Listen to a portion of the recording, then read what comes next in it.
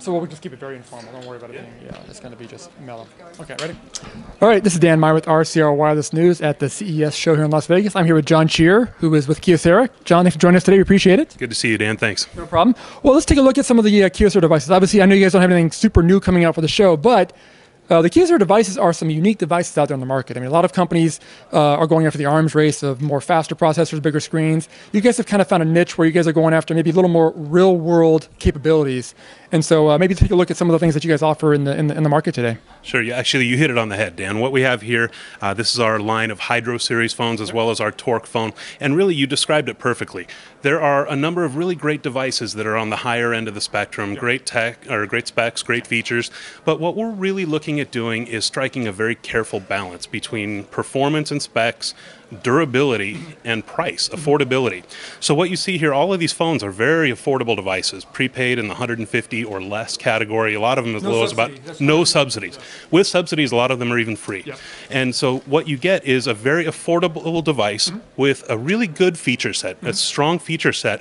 But what really differentiates the products is they're all waterproof Mm-hmm. and extra durable. Yes. And for people who people actually use phones in the real world, those are some important things to have. I mean, obviously, it's great to have the biggest screens and the fastest processors, but as soon as you drop it, uh, you're in trouble. Yeah, no, you're exactly right about that. And we've seen statistics that somewhere in the neighborhood of about 100 million phones in the U.S. have been uh, destroyed by liquids. It's hugely common.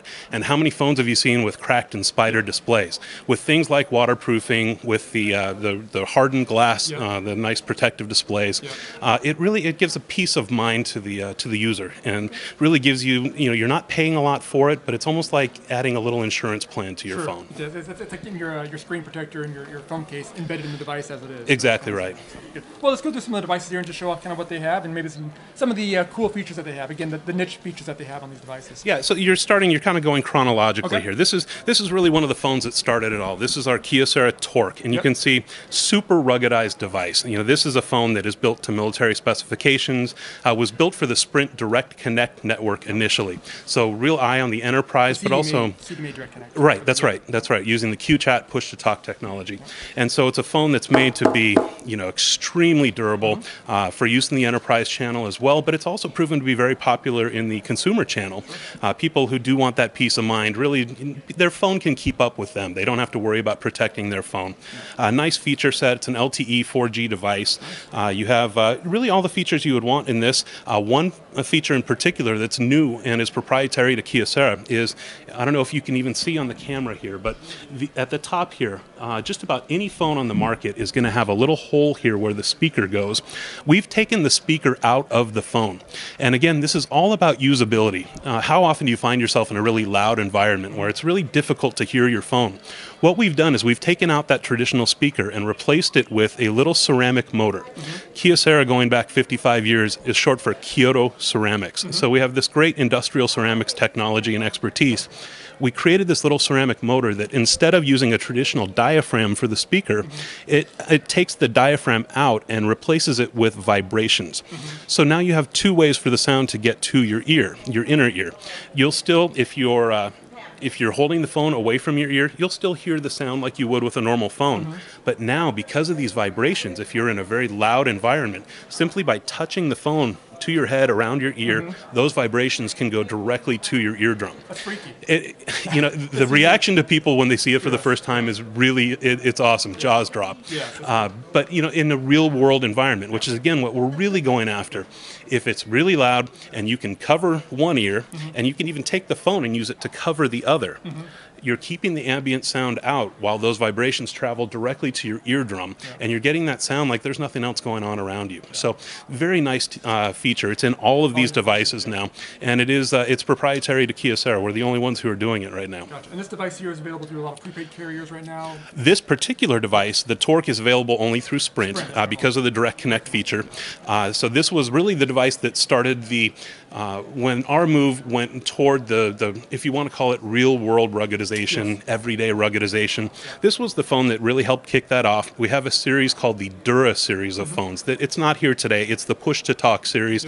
Uh, phones like this, they're feature phones, super rugged. You can hit them with a hammer, and they're not going to go anywhere.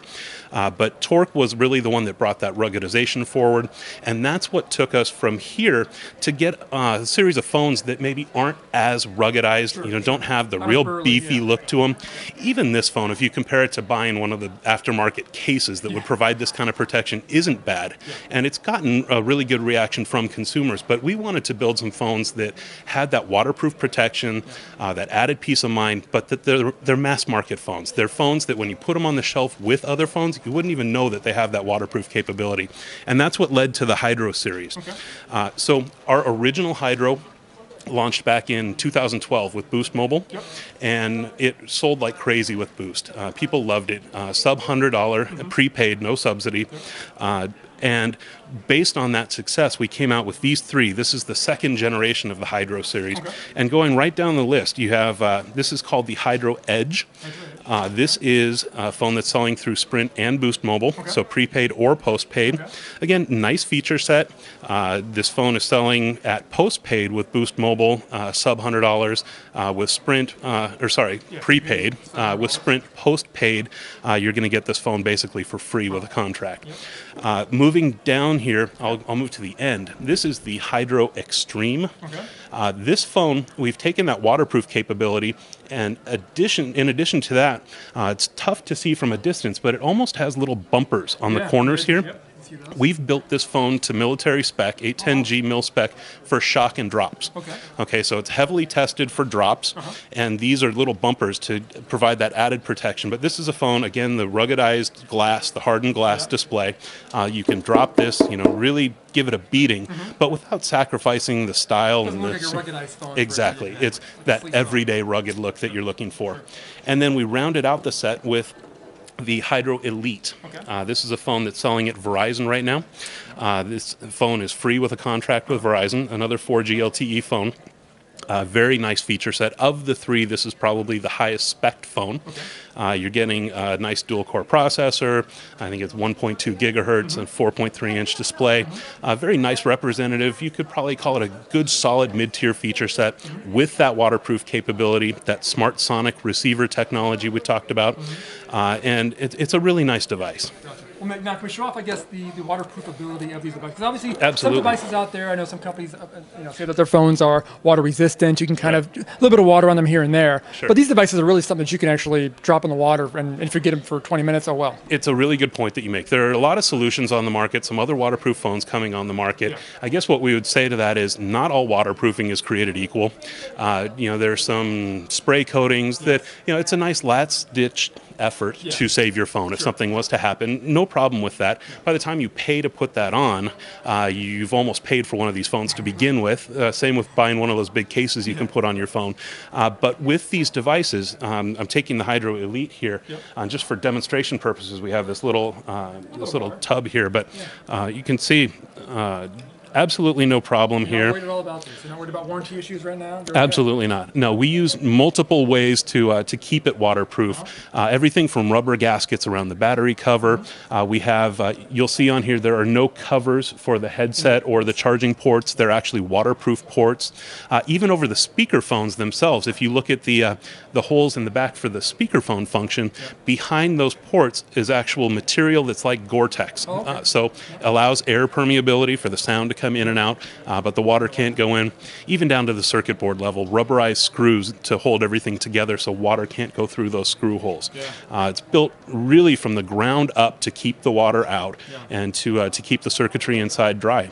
And so whether you drop it, spill on it, uh, we can't do it here because of the setting that we're in. But Sure, sure. you know, how many times have you been at a restaurant with your phone out and knocked over a drink Yeah, and you know, you drop the phone in the sink, God forbid, the toilet. How many people have done that? Uh, this is the phone that you can. Oops, You can do it with. And You can drop it. You don't have to curse about it. That's right. You just dry it off, hit the power, and you're right back in business again. That sounds good. Yeah. Well, well, and obviously now for Kyocera, you guys have definitely found a, a nice niche here, and, and obviously it's done pretty well for you guys. I know you guys have definitely gained market share over the past couple of quarters. That's right. Um, it seems like you guys have really uh, kind of found your legs in the U.S. market.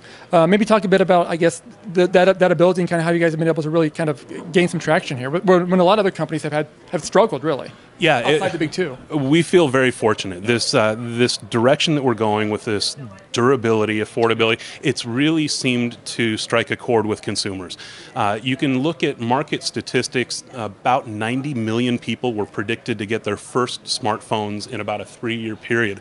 So when you look at those kind of numbers, for those types of people, they may not want to jump to a real high-end phone where you're going to pay. $200 subsidized or $600 pay as you go. Yeah, there are phones out there like that. They're beautiful devices, but they may, they're not right for everybody. So with a device like this, we've been able to go in and serve that that segment of consumer uh, that's looking for that affordability, and quite frankly, the carriers are looking to fill that area of their portfolio as well. What it's allowed us to do is, if you go back a few years, back in about 2007, Kyocera wasn't selling to any national uh, carriers.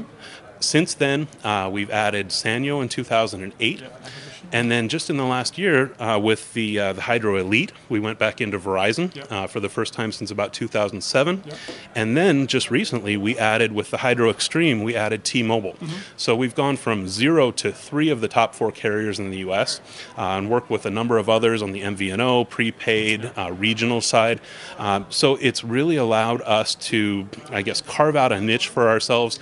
Uh, and to your point, from a market share standpoint in about the last three years, we've added uh, more than about a percent and a half in U.S. market share, which doesn't sound like a lot until you start thinking about how many units that represents exactly. in the market, uh, how many cell phones sell each year.